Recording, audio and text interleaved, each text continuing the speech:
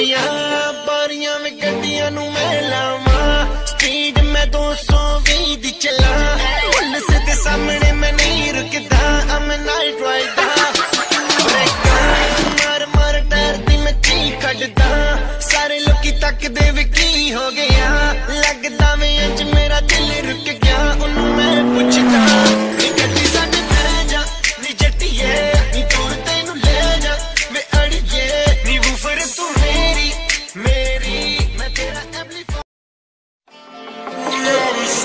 stop